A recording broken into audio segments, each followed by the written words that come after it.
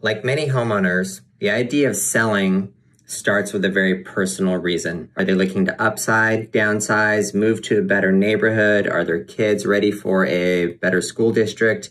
Uh, do they want a shorter commute? All kinds of different reasons. Once they, they, they determined that they had a personal reason to consider moving, they contacted me. My job is to listen to them, understand exactly what their reasons are for selling, and they be, then be able to guide them and advise them on all the things that we would need to do in order to accomplish their goal of selling their home. We met at Starbucks, and when we met at Starbucks over coffee, they explained to me all the thoughts that they're going through their mind that made them want to consider selling. After listening to them and understanding exactly what those reasons were, we determined that yes, it does make sense for you to sell. So from there, the questions were, well, how soon do we want to sell? What is the expected sales price of our home? What are the steps that are needed to get the home ready for sale? How do we go about doing that? So my first step was to determine what is the expected sales price of the home. Once I determined that and we decided that that sales price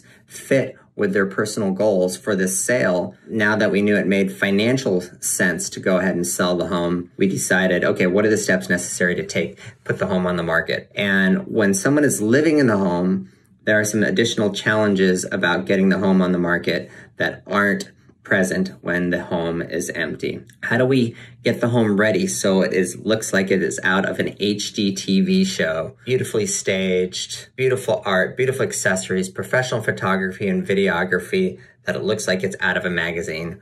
When, like most homeowners, they don't live in an HGTV home.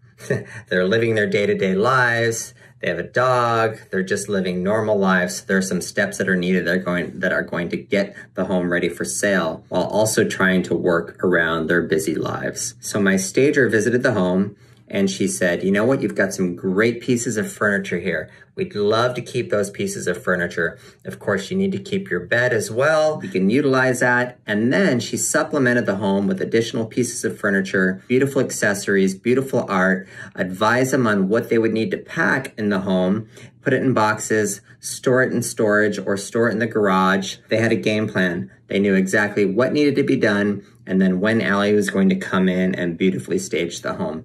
Once we knew that date and we knew the date the home would be professionally staged, then we could sequence after that our professional photographer, our professional videographer. We would get that back, create a great customized marketing plan for this home, and then get ready to list it on the market. Once we went on the market, we went through our very customized social media marketing plan to generate as much interest in this property as possible. We happened to be listing the home on Super Bowl weekend, so we created these Super Bowl themed mega open houses with prizes, food, that made it a lot more fun for buyers to come and visit the open house. They hung out at the home, they received prizes if they were able to do some fun win kind of finger football, and there are some drawings that we had to guess the Super Bowl score. So through that whole marketing effort, we ended up receiving multiple offers, two very strong offers, both with zero contingencies in the contract. We achieved a great sales price, and then we knew through that process that we had a great offer that they would accept that we knew was going to close. All right, well, let's recap our step by step process that we went through that resulted in their successful selling experience. Step one, a very big step at that. The homeowner decides that, you know what, we think it might be a good time for us to sell. Step two is meet with our team let us understand exactly what those reasons are for selling and then create a plan that is going to make the whole process of getting the home ready for sale smooth and easy while accommodating their busy lifestyles. Step three is get the home on the market, market it tremendously to all the prospective buyers out there, and get a great offer that the clients accept. Step four is making sure that the home closes, that the purchase closes smoothly and quickly and on time we actually ran into a little bit of a hiccup. While there were no contingencies in the contract, these buyers ended up having a low appraisal as a result of using a less than reputable lender, causing a potential delay in the closing of the purchase. Luckily for us, we've been and seen this problem before. We actually recommended that the buyers use one of our preferred lenders. Our preferred lender was able to move quickly, get an appraisal